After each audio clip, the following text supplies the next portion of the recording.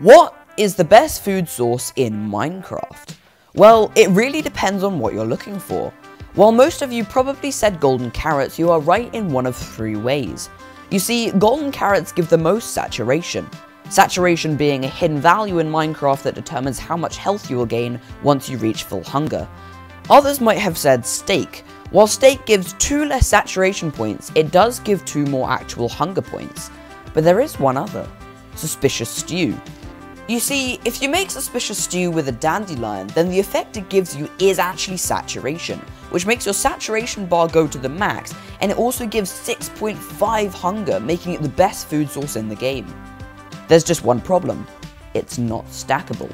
So while you can keep it in its individual ingredients, it's bad to use in PvP situations.